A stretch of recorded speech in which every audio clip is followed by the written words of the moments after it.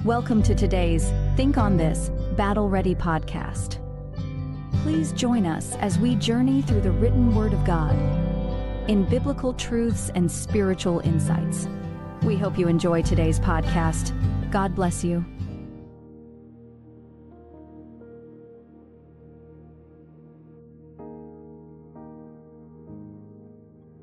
Hey, Battle Ready family, thank you for joining us tonight. The Bible says in Psalms chapter 1, verse 1 Blessed is the man who walks not in the counsel of the ungodly, nor stands in the path of sinners, nor sits in the seat of the scornful. You know what, Brother Bryant? I really believe that if we would, you know, grasp you know a lot of the counsel that we can find in the word of god you know especially proverbs in the book of psalms there's so much wisdom and understanding in there and even in verse 1 it holds a lot of weight where it says, Blessed is the man who walks not in the counsel of the ungodly. You know, the Bible says that there's safety in a multitude of counselors, correct? Uh, I think about 1 Kings in chapter 12, verse 8, where Rehoboam, instead of going to the elders to get, you know, advice on what he was to do, because Rehoboam was going to give 10 of the 12 tribes and Jeroboam would get two of the tribes. And instead of going, the Bible says, instead of going to the elders, he decided that he was going to go to his friends, right? And I really believe, and, and I want your input. What do you think you know, is the danger of not surrounding ourselves with men, men and women of God that are, give us godly counsel. There's a danger there, you know. Uh, you you you got to remember something. It says in that verse, "Blessed is the man." You want to be blessed, then he says, "Don't walk in the counsel of the ungodly." In other words, don't run to the ungodly for counsel. Amen. Go to those who are godly. Go to, in fact, go to the Lord for, for, for guidance. But Rehoboam, he doesn't do that. What did he do? You know, the, the, the, the elderly people, you know, we always said that the elderly, you know, they, they have wisdom because they live their life. They know, they, they know the in and outs. They know, you know, the life they, they went through. So he went to the elders and he, he asked them. And you know, in, in reality, the elders gave him a good, pretty good uh, advice. That's but, right. But he didn't follow it. Instead yes. of doing that, he goes to his his uh, uh, uh, uh people, uh, you know, the te- teenagers or people his age. He said he goes to his people and he said, "Well, I'm going to go ask them yes. and see what they say." I'll tell yes. you what. You know, and you know, brother, I was thinking about this that a lot of people when they're going through th- through things, who do they who do they tend to circle themselves with? They tend to circle themselves with people that will accept their decision that they make. Right. You see it so many times. Instead of going and you know and getting counsel from you know men and women of God that's with an alignment in the Word of God, they tend to run and lean towards people that accept their decisions. And you see it many times, you know, and it's something that we really need to watch for because of the fact that, you know, the Bible says, blessed is that man. Yes. That if you want the blessings of God, then there's things that God requires of us. And one of those things is, is, to not walk in the counsel of the ungodly. Listen, brothers and sisters, there's safety in the multitude of counselors. Amen. And we need to surround ourselves, right, Brother Bryant? That's right. With men and women of God that hear from God. And I like, Brother Bryant, I really like the, the second part. It says, nor stands in the path of sinners. Mm. And I believe, brother, that a church, I, I believe that the church, the body of Christ, really, really has a lot of fault in this. Number one, how can you stand in the way of a sinner?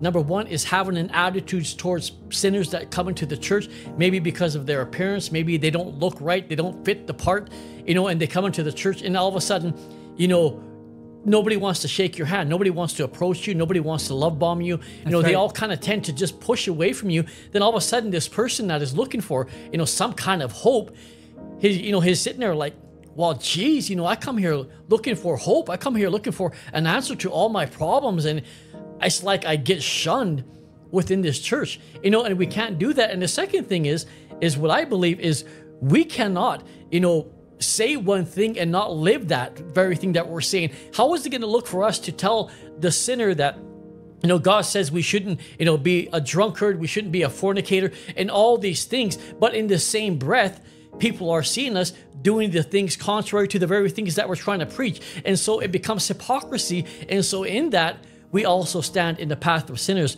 wouldn't you say, Brother Bryant? That's right. That's right. Exactly. And you know, and and how many times have you know of uh, have we stood in the way of sinners, and and discouraged them from coming to the Lord, because of our our, our, our prejudgment. We judge them for how they look, how you know they come and they sit among us, and you know I don't like that how they smell, how they how they look at us. So what do we do? We we we push them aside. And people like that, you know, they, they don't feel welcome in our That's right. churches, and that's why they don't come because you know what? Uh, they come a stranger. I've heard this said before, brother. Uh, many will come in a stranger and Yes. they leave a stranger. Yes, yes. Yes, you know, and it should be, you know, when when you meet somebody that's truly in a right relationship with God, you, you know, there's an old saying that says, "You're strangers but once." Yes. Now we're friends. You know, and that's why some of these denominations, you know, I'm not going to say them, but there's certain denominations that love bomb new people that come in because they you know one of their ideology is is we need to show these people so much love and even though i mean and think about it these there's two organizations that will come knocking on your door and love bomb you. And it's a sad thing when they're not even you know in alignment with the full counsel of god. But yet you got the pentecostals that are shouting you know you know send the fire lord you know we got the power but won't even you know go and visit you know those who are you know fallen by the way are are trying to reach out you know to the to the lost and preach the gospel. And, and that's sad because in essence brother that very church is standing in the way of sinners because you know they pride themselves more in the name that is above the, the door than in the God of the house. You know, they pride themselves, I put it this way, they pride themselves more in the house of God than they do in the God of the house. That's right, brother. And you know, I'll tell you something. That uh, while you were saying that, this came to me. You know, uh, Jesus experienced the same thing because he, the Bible says, he he went to the sinners, but he was shunned by the Pharisees. You know, look at look at him. Why does he sit with sinners? Well, what, what, why is he, you know, taking, uh, uh, uh, uh, kind of like going with them and, and having that in, in the same company with sinners? They accused Jesus, but Jesus came back and he said, "I didn't come to call the righteous. I called to come to sinners." That's right. Repentance. So, though, in order to make him do that, you you have to go to them. See, and but yet he was accused. Yes. And lastly, it says, nor sits in the seat of the scornful.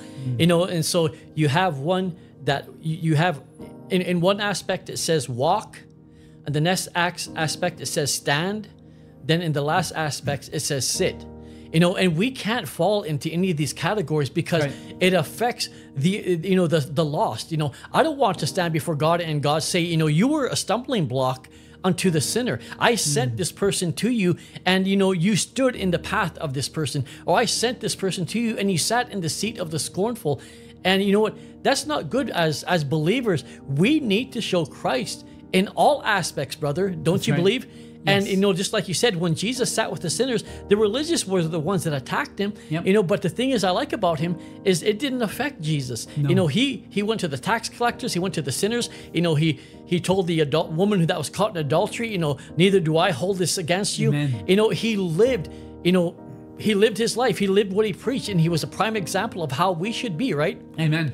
And That's then right. verse 2, I like how it says, But his delight, talking about blessed is the man, but his delight is in the law of the Lord, and his law he meditates day and night. He shall be like a river planted, he shall be like a tree planted by the river of water that brings forth its fruit Mm. in its seasons, whose leaf shall also not wither, and whatever he does shall prosper. Think about that, brother. A tree planted by the river Yes. that brings forth fruit in its season. you right. see, are we producing fruit? Are we, first of all, showing the fruits of the Spirit? Because if we're not showing the fruits of the Spirit, then I guarantee you we're falling under the walking in the counsel of the ungodly, or we're standing in the path of sinners, or we're sitting in the seat of the scornful. But if we are showing the fruit, then we can produce fruit, right, brother? That's right. I, I, I like that verse too. It says, "He his delight is in the law of the Lord." Listen, his delight is in the Word of God. That's right. He loves the Word, and when you become a believer, you you can't. I mean, you can't wait to get that Word in you. You want to hear what God has to say, and and you get it in you, and then he meditates in the Word. Joshua one eight. He told him. He says, meditate. In, in, in the things of God, He- Joshua was was told to meditate upon these things, and that's exactly, uh, amen. What he did is meditating on the Word of God and getting in your spirit, and uh, amen. And I pray that God give us a hunger for it. That's right. That's right. Now, listen, brothers and sisters, the Bible says that if we are to do these things, we shall be like a tree planted by the river. Listen, it's about time that we take roots by the river of God, amen, and into the things of God. It's about time that we press into the heart of God and live Christ-like and be that written epistle read and seen by all men. You know, brother Bryant, I don't want to be, you know, like the like the Bible says. I don't want to be the the like the ungodly that are like chaff, which are you know which the wind drives away. I don't want to be here today and gone tomorrow. Right. I want to be that written example for all you know men and women to see the Christ in me, the hope of glory. And in verse five and six it says, "Therefore the ungodly shall not stand in the judgment, nor sinners in the congregation of the righteous." Yes. For the Lord knows the way of the righteous, but the way of the ungodly perishes. That's right. Close us in saying a few words, brother. We need to take it serious.